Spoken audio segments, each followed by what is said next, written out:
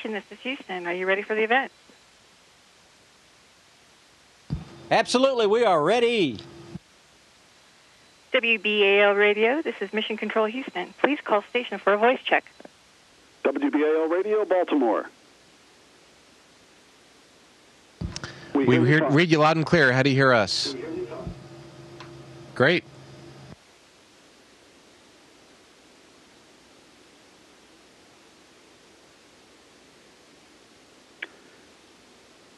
Hello there from Baltimore, Maryland. This is Phil Yacuboski from WBAL Radio. How are things going up there, Terry?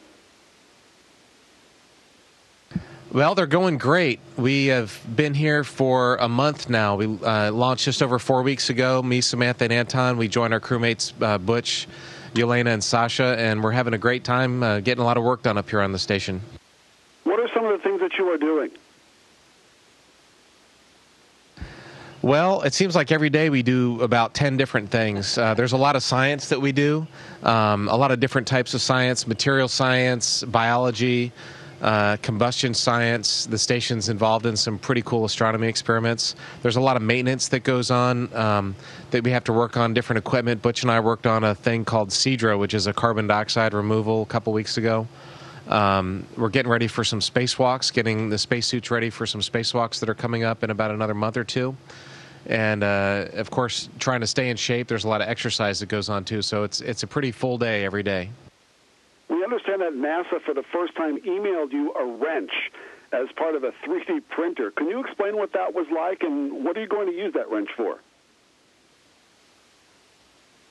Yeah it's uh, pretty exciting when you think about the possibilities of being able to email like you said a file that will go into a printer and will print out a tool that we can use to fix an implement or maybe you know in space things get away from you. There's you know it floats and things disappear. So to replace a tool that you lost. So that was a small wrench. It's a prototype. We'd love to use it. Would love to but of course we have to pack it up and send it back to earth so they can uh, analyze it and check it out. So they're not going to let us use it regrettably. Can you tell us something about, and this is for either one of you, what has surprised you about the experience of being in space? Were you totally prepared for everything? That's a great question. Um, for both Butch and I, this is our second flight. On our first flight, we flew on the space shuttle as pilots, and now here we are on a six-month-long, uh, long-duration mission in space. And I think the thing for me that I've noticed over the last week or two is how I'm getting even more adapted and more able to fly and float and do things in space on the shuttle flight, it was only two weeks long, and there was a steep learning curve, and that had not peaked out. And I'm still learning the basics of how to fly, and and I can already tell that I'm getting better than I did on that short duration flight. Terry, we're your hometown station. You're from uh, Maryland. Talk to us about who you want to say hello to, especially for Christmas, and what's it going to be like spending Christmas in space? That's a great question. My family's all back there. My mom and uh, stepdad are actually down in Texas for Christmas with uh, with my family there. But I have to say hi to my aunts and uncles and um, Aunt Helen and Aunt Pat. My cousin Kristen, she just had a new uh, a new baby, little Cameron and uh, Landon and man, I got all kinds of relatives back there. But it, I do miss Maryland. I've been trying to get some good pictures of it, but it's been cloudy every time we fly over during the daytime. But one of these days, I'm going to get a good shot. And uh, and uh, rooting for the Ravens, man. They had a rough, uh, rough game this last weekend, I think. Were you able to watch the game yesterday?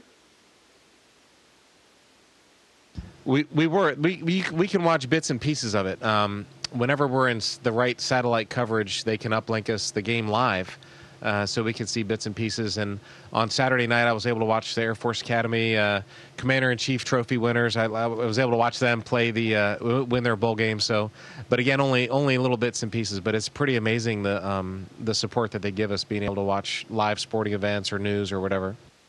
What are you missing about Maryland, and how are you going to spend Christmas in space? That's easy. Sweet sweet corn and crabs. Um, and Christmas is going to be good. I think Butch and I are going to we'll do a little Christmas Eve service up here, and and uh, Butch got so, uh, stockings for us all, and uh, I've got some presents, and so I think we're going to have a little gift exchange and and eat some um, irradiated turkey and dehydrated mashed potatoes and cornbread dressing, and so it should be should be it should be a good Christmas day. And actually, we'll get to celebrate it, you know, and 16 times because we get 16 sunrises every day here. So we'll have Christmas morning 16 times on the 25th. And then we get to celebrate it again on January 7th because that's the that's the Russian uh, Russian Christmas is on January 7th. So half of our crew is Russian, so we'll have it again a few weeks later. You talked earlier about the experiments you have been uh, conducting up there, and this is for either one of you. Anything surprise you uh, as of now, and uh, what are you most looking forward to? Obviously, the spacewalk will be pretty neat. Yeah, the spacewalk, spacewalks plural are, are definitely big on our horizon. Um, here's something su- surprising, and we all know physics, and we learn the basics of physics and inertia and that kind of thing. But um, when when you rotate things in space, you can see how they behave, and you, if you spin uh, an iPad, for example, today Butch and I were doing this. You spin an iPad in certain directions, it spins fine, but if you spin it in one certain axis, it it's, it flips a couple times and then it rotates itself and it flips in different direction a couple times and it rotates back and it's uh, it's cool to see Mr. Newton's laws in action up here in space. Is something you just can't do on Earth. Uh, we can see it in for real. So that's it wasn't an official NASA experiment, but it was a neat a neat demonstration of physics up here.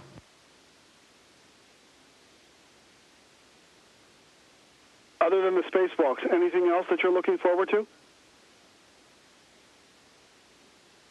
I am looking forward to spending more time looking out the window. I've been here for a month already, and I feel like I just haven't spent any time. Uh, I love taking pictures of the Earth and of stars, and um, there's just lots and lots and lots more pictures I want to ta- take. And I try and tweet out uh, when I can at the uh, Astro Terry and Butch has an Astro Butch uh, hashtag, and so um, photography and just looking out the window is is uh, probably by far the best thing to do up here. And for those of us who don't know, does a regular camera work in space? It does actually. We have just tens and tens and tens of uh, big, like professional cameras, the kind you see at the football games. We've got camcorders all over the station, and and uh, they do work. They're all digital, of course, and so we can downlink the pictures instantly. And um, uh, yeah, that you're, you're, that's a good question. So, some things don't work, but cameras do work. That's good. And this is final question before uh, we have to go. But what is the food like up there? Uh, you mentioned irradiated beef and and uh, freeze dried mashed potatoes. Is the food any good? Actually, to be honest, perfectly honest, the food is really good. I was, uh, I sent an email to our food folks yesterday telling them how good it is, and it's it's way better than anything I would be cooking for myself if I were a bachelor. That's for sure. But it, it's a good variety. They got different kinds of meats and vegetables and desserts and beverages, and um, it's uh, it's it's it's actually pretty good. I think we're spoiled. But you're looking forward to some Maryland crabs and some corn when you get back, right? Well, yes, it's not Maryland crabs or corn, that's for sure, but it's not bad. All right. Um, watermelon, I, I, too. I, I have time. I have time for one more question. I believe they're telling me you talked about looking out the window. That that view is something you just can't seem to absorb enough, right? It's not, and I wish I could. I just wish everybody could see it because I, you know, I had seen pictures from space my whole life since I was a kid. I've been looking at books and pictures, and the, it just doesn't do it justice. You, um, the one thing I've noticed is I see colors that I'd never seen before, shades of blue, especially. Um, the oxygen in our atmosphere and in the water uh, really makes things blue on Earth, and that's a really small part. If you look in the other direction, it's nothing but black in all directions, and so it's pretty cool to see. It's like being up in the heavens looking down on creation. It's it's an amazing thing, and you just can't describe it with words. Are you hoping for one more trip to space after this? Oh yeah, uh, for sure. Yeah, you know, I'd love to go to the moon. Is what I would really love to do, but we'll see how that works out. We just had our launch of the Orion capsule, which is uh, one piece of the puzzle that we're going to need to go out into the solar system. So that was that was pretty exciting a couple weeks ago. We actually watched that live from our uh, from our dining room area. That was that was kind of neat to see that from space. All right, Air Force Colonel Terry Virts, who of course is from Columbia, in our area, and crew member Commander Butch Wilmore. Thanks for joining us here on WBAL from the International Space Station, 205 miles above the Earth. Thanks, guys, and Merry Christmas. Thanks. Merry Christmas to everybody down there in Maryland, and uh, go Orioles and go Ravens. Station, this is Houston ACR. That concludes the WBAL radio portion of the event. Please stand by for a voice check from the CBS This Morning.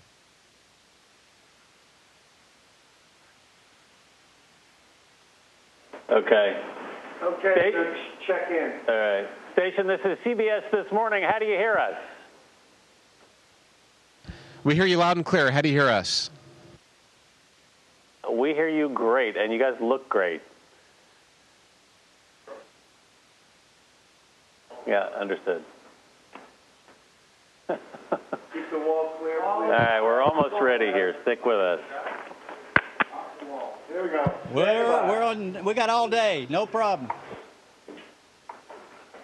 Three, two. We recently showed you new satellite images from NASA showing how bright the holiday lights are in cities across the country. It is a familiar sight for two astronauts who will spend Christmas aboard the International Space Station. The mission commander, Captain Barry Wilmore, and flight engineer Colonel Terry Virts joining us now from orbit. Well, thanks for floating with us this morning, guys. How are you? Oh, our pleasure. We're doing great. Uh, having a great time doing a lot of things up here, getting ready for the holidays, spending it together. Of course, we'll be separated from our families, but we've got each other, and we've got some plans for some gift exchanges and such, and just celebrate it much like we would back home. Now, I see some elf shoes on your feet, and I think I see what looks like a Christmas tree. What else are you guys doing up there to stay festive? Well, we've got some stockings. Butch got us each each crew member a stocking. It's down in the U.S. lab.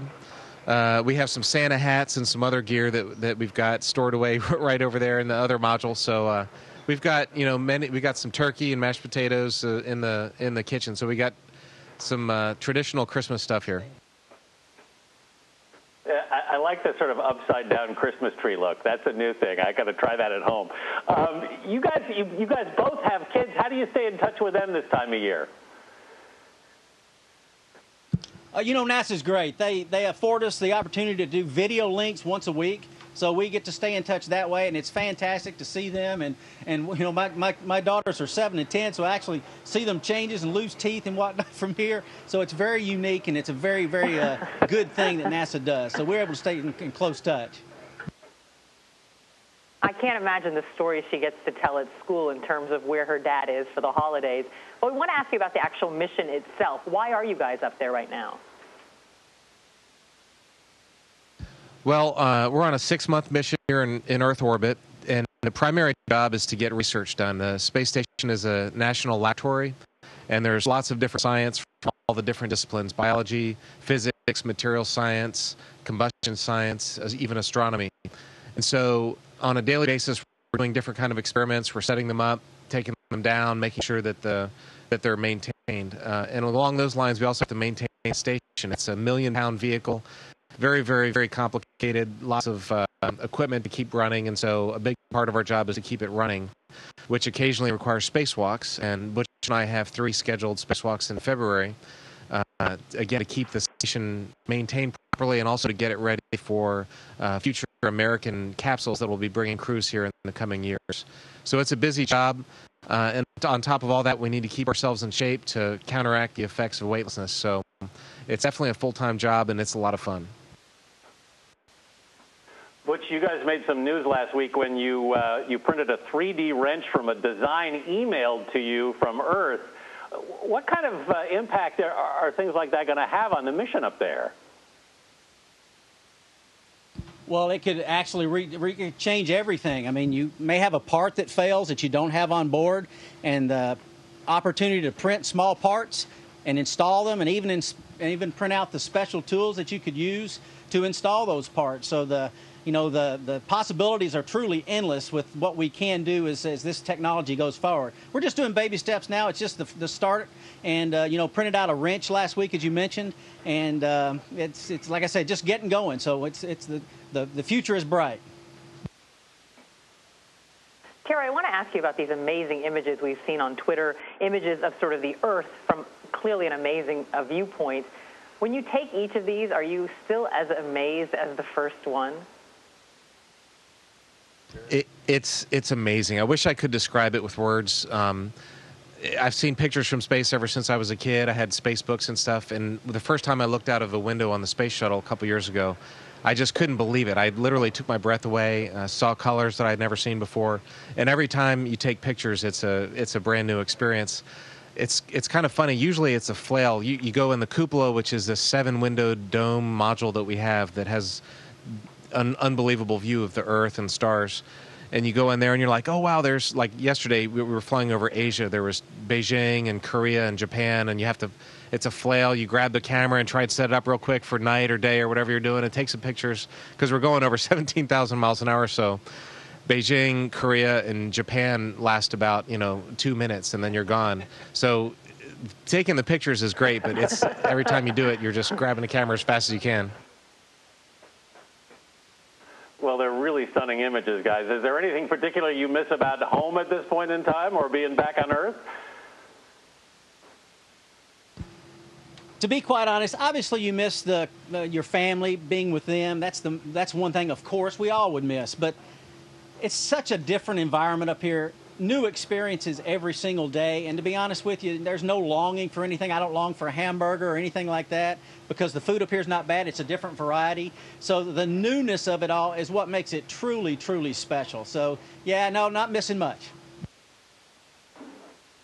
We want to ask you one quick re-ask you one question, just because we had a little bit of an issue with it with it coming over. What exactly are you guys up there doing right now? What is the mission? So the mission that we're doing right now on our six-month expedition to the space station is science. Our, our job here is to do science, and there's lots of different disciplines that we're uh, investigating: biology, chemistry, physics, material science, combustion science, even astronomy. And so on a daily basis, we're doing various experiments. We're either setting them up, changing out samples, downlinking imagery, uh, maintaining the, the machines in the, this laboratory that we have, this national laboratory of the International Space Station. And along with that, the second half of that mission is maintaining the station. It's a million pound vehicle, very complicated, lots of different modules. International, we're in a Japanese module right now, the European module's there. Of course, there's a big American segment, and the Russian segment is a very big part of this space station. So maintaining this on a daily basis is, uh, is a big job that we have. Um, getting ready for some spacewalks is very important. Butch and I are going to go out and prepare the station for future American human vehicles, crewed vehicles that are in February. We're doing these spacewalks, and these vehicles will be uh, flying in the next few years, we hope. And so every day there's a, a, different challenge. On top of all that, we have to keep ourselves in shape with a lot of exercise to counteract the effects of weightlessness. So it's definitely a full time job that we have. Well, keep those stunning images coming, guys. They're really beautiful. Safe travels up there. Merry Christmas. Captain Wilmore, Colonel Virts, thanks so much for joining us from orbit this morning. Merry Christmas to everybody in America and everybody down on Earth.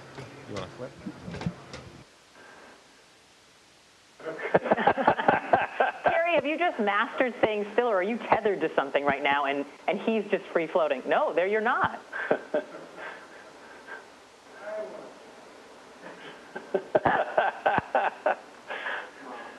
you can't do this on Earth. That must never get old. No, you sure can't. No, it doesn't. You mentioned our tree was on the ceiling, but our tree is only on the ceiling half the time. The other half of the time, it's actually on the floor, like right now. I like it better upside down. It's a new view.